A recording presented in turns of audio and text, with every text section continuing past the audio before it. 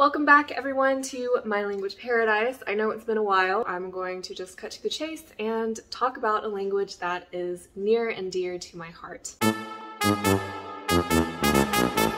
I've not talked a lot about German on my channel so far. I think I uploaded even a few videos before I had even 100 subscribers and it didn't really go anywhere so I just left that on private. But I do have another video in German about my German language journey in Dortmund, studying abroad there. There was a very interesting experience with a professor.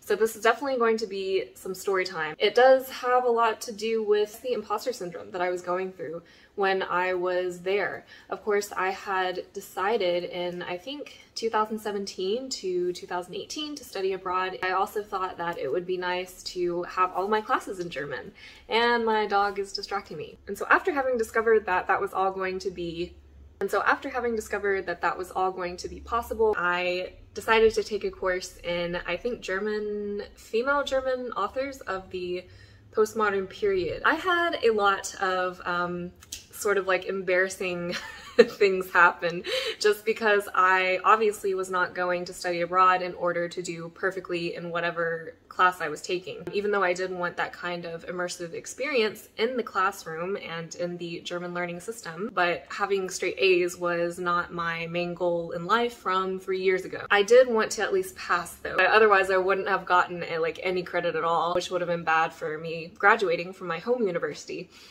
So I took this class. I, of course, had to write a Hausarbeit. I think I maybe took like two days to write down all of it in German, and it was about this book and this author right here, Die Liebhaberinnen, back when I was at my home university, there were little things that I had to write about. There were little things um, about German history and culture. I really wanted to prove to myself that I could do it in a like native level classroom with a native level teacher. Spoiler alert, it did not go well. I don't think I even have the original essay to show you guys. I would if I could. But I was so ashamed of it that I threw it away after I got my feedback from the teacher. I think it was my second version that I had to fix.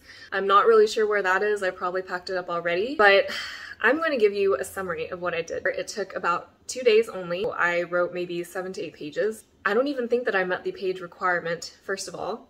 I did not do any of the typical things that I knew how to in order to structure a paper. For some reason, I did not even think about that, probably because I was having too much fun outside the classroom. I thought that at least, even after I had messed up the structure of the paper, I would be able to write well. And given this was when I was kind of used to getting compliments from the German department at my home university. I'm mentioning this because it was a really big difference from being in a small town, receiving praise for something that I initially did not know I was good at. I did not think that I was capable of doing much with my life.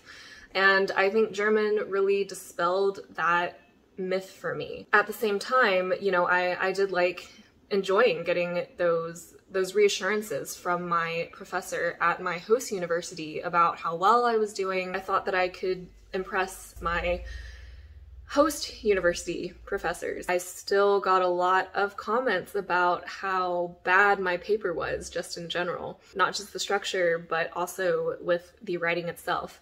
I had included way too many commas. There were some words that I had used in the wrong sense, or I had mingled around the wording a little bit to not really get my point across. That's how I felt with my first paper uh, that I turned in for this German teacher. Let me go over the grading system. Basically, if you get a one, you're doing great.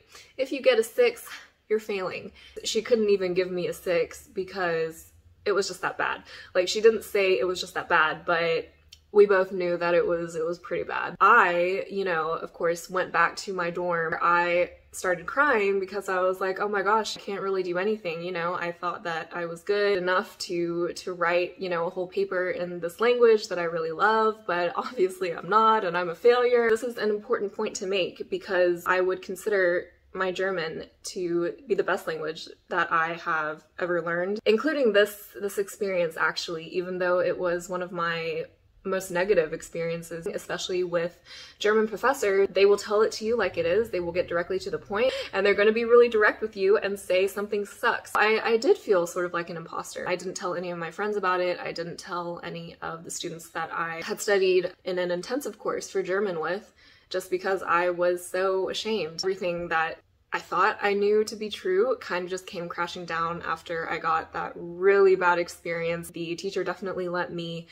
redo the paper. Otherwise, I would have never had enough credits to, to say that I did enough courses in order to graduate and fulfill my requirements abroad. My final grade was a three, which I guess would sort of be the equivalent of a C in the United States. It was still pretty average, not good. I was just glad to to have been able to get at least a credit. This was in my first semester, so this was not going to be my first and only um, Hausarbeit or German essay. Always being humble in the language, I think that was one thing that really stuck with me. Even if you do slip up sometimes, I think it's going to happen, you know, whatever field I decide to go in. Um, there's going to be failure and you can definitely learn from it. I did well on my um, other German essays that I wrote throughout the year after that. It was kind of a good thing to know that I could really mess up my first time doing it and then it not have to appear once again like later in the semester when everything was was wrapping up. So yes, I'm very gracious for that, but again,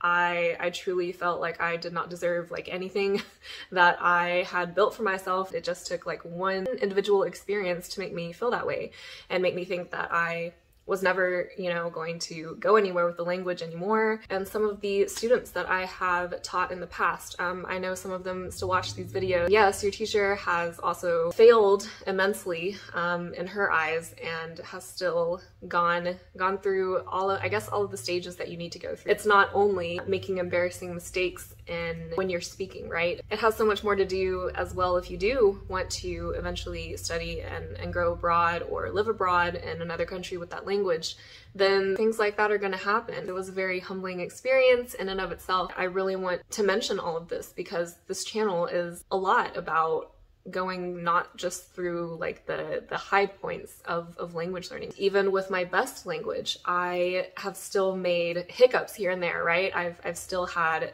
my my fair share of failures that I'm not like proud to admit necessarily, but I think it's really important to mention them. So thank you for listening to me rant about this. And as always, we will see each other in a new video next week. Bye!